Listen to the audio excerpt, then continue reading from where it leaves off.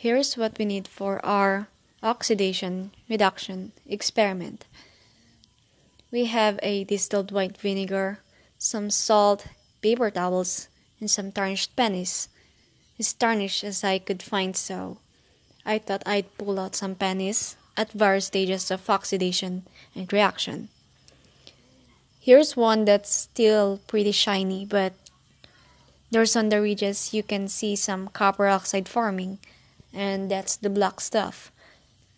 Here's quite a bit more oxidation, but still some shiny parts, probably where there's wear and it's been worn off. That one's just about covered in copper oxide, and eventually you get that patina of verdigris.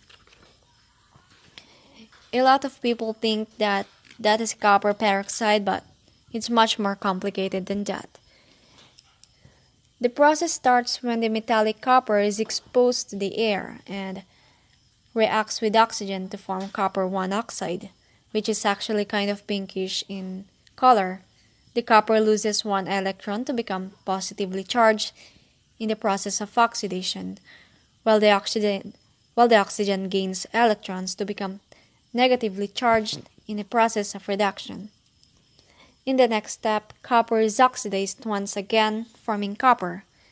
Copper oxide sulfur in the air can also oxidize copper to form copper sulfide. Both compounds are black in both cases. The copper ends up in the plus 2 oxidation state. Finally, the copper the copper oxide can react with carbon dioxide and sulfur trioxide in the air to form the familiar verdigris or the green patina. This is an example of pennies that shows all the stages, all the stages of oxidation.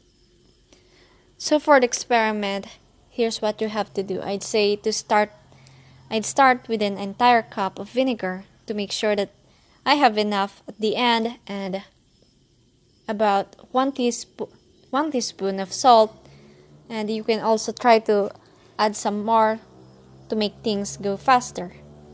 And make sure that the salt is dissolved and dumped in the pennies. I've got about 6 to 7 pennies here but I'd really try to go with something like 20 or 30 if but I couldn't really find them so if you can find them that is. Now we can see that the vinegar cleans up the pennies by dissolving the tarnish. And that is what we are looking for because the tarnish contains copper ions. Now for the next part where I'm going to take the pennies out, I'll put half of them right onto the unrinsed paper and the other half I'm going to rinse really well with water. And I'll dry them out here. I'll let this dry if I see anything happening. And I'll be back later. And now so I'm back now. There's really there's really something you can see. Some of these are even getting that patina. It's not that visible but there's that green and some kind of black. It will take much much longer after a while. There's quite a bit of verdigris, especially if you start with the very tarnished pennies. The next thing is to dump them into the vinegar and see if we can dissolve the verdigris, which means we're going to be dissolving the copper ions in solution. And that's where the blue comes from. That we can see those copper ions in solution. So take them out again. These are some fresh pennies that were pretty cleaned and spread it all out and put the time lapse and you can see that over time that yes they get tarnished we start to form some more verdigris the idea is to repeat the process at least um, three to four times. Each time your solution will get a darker and darker blue showing a great concentration of copper ions. You'll also find that each time you run through the cycle the pennies will get more and more verdigris faster. An oxidation reduction reaction is a type of chemical reaction that involves a transfer of electrons between two species. Oxidation is the loss of electrons and reduction is the gain of electrons.